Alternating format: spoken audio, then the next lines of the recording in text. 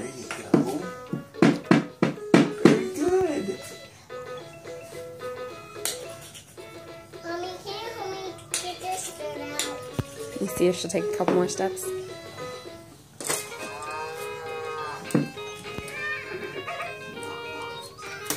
How about a couple more? Oh.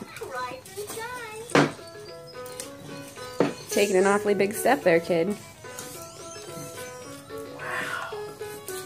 She's going to be walking in no time.